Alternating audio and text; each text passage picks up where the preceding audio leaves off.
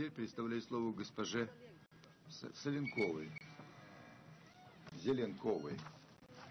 Спасибо, госпожа председатель. Отвечая в ответ на оккупацию Крыма, мы э, лишили Россию права голоса и всех должностей в парламентской ассамблее в апреле прошлого года.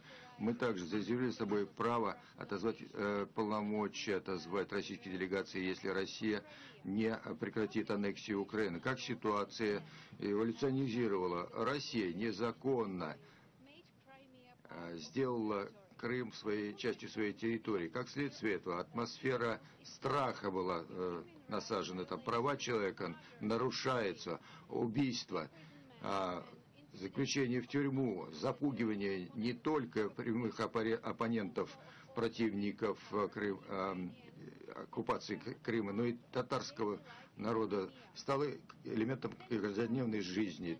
Десятки тысяч человек э, а, бежали оттуда.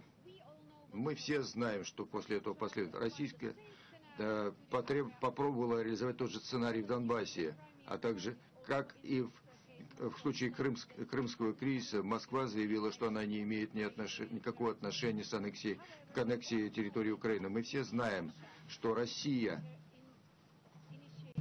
стала инициатором и администратором э, вооруженного восстания против Украины. Каждый день наши наблюдатели, журналисты, э, службы разведки информируют о нас о конвоях вооруженных конвойных военных техники, которые поставляют оружие, о, о тысячах российских солдат, которые направляются из России на украинскую территорию для того, чтобы э, поддержать восставших.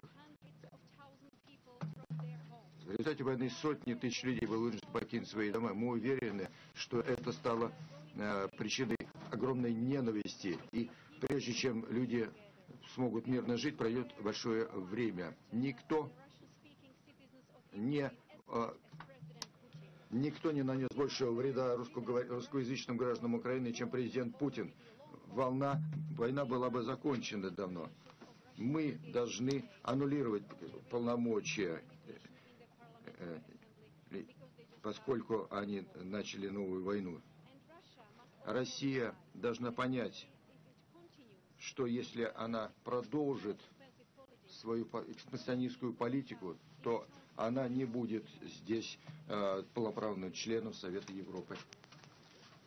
Спасибо.